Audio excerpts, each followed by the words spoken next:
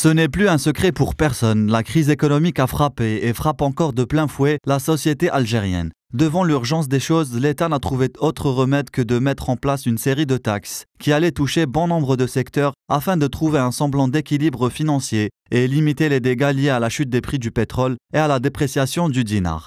Cependant, le secteur de l'immobilier est l'un des seuls à s'être gardé de ces restrictions fiscales.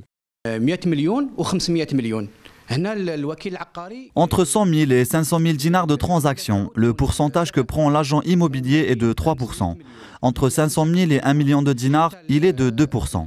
Sinon, au-delà de 1 million, le pourcentage qui s'en dégage est de 1%.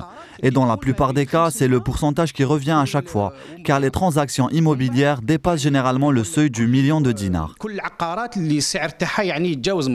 Les experts immobiliers parlent quant à eux de la nécessité d'éviter au secteur de l'immobilier de nouvelles taxes, considérant ce secteur comme stagnant.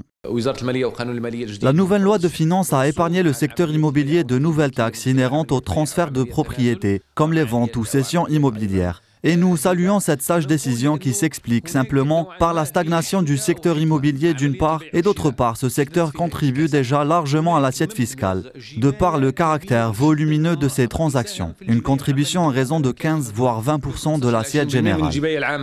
À l'heure où l'Algérie est dans une recherche active de diversification de ses sources financières, le secteur immobilier reste l'un des axes préférés des Algériens en termes d'investissement.